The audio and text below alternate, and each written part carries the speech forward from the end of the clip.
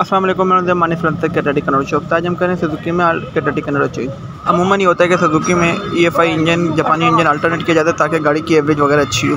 लेकिन कैटेटिक कन्वर्टर ना होने की वजह से गाड़ी की एवरेज का डिस्टर्बेंस रहता है, गाड़ी की एवरेज ख़राब हो जाती है। इसी इशू के रिजॉल्व के लिए गाड़ी में ब्रांड न्यू डब्बा पैक कर कन्वर्टर इंस्टॉल किया जा रहा है, जो कि सेम ओरिजिनल क्वालिटी के ऊपर बना और सेम ओरिजिनल रिज़ल्ट के साथ है। इस केट की हम थ्री मंथ की चेकिंग वारंटी देते हैं। थ्री मंथ की फ्यूल एवरेज वारंटी दी थ्री मंथ की मनी बैक वारंटी दी जाती है। और जो सबसे ज़्यादा इशू होता है थ्री मंथ की चेकलाइट वारंटी दी जाती है।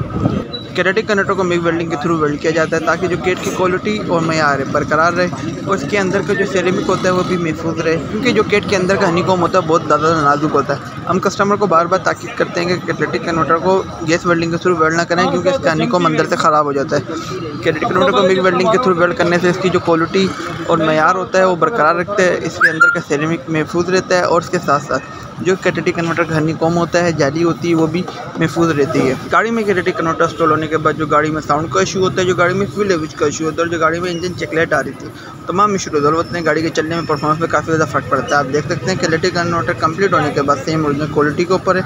और इधर nut bolt to nut bolt fitting के साथ मौजूद है। हमारे पास हर किस्म के कैलेटिक कन्वर्टर मौजूद होते हैं। आप चाइनीज़ कैलेटिक कन्वर्टर या ओरिजिनल कैलेटिक कन्वर्टर के लिए हमारे दिए गए नंबर पर हमसे रब्ता कर सकते हैं, या कोई भी कैलेटिक कन्वर्टर की या सलेसर की मालूम के लिए हमारे दिए गए नंबर पर आप हमसे रब्ता कर सकते हैं। शुक्रिया।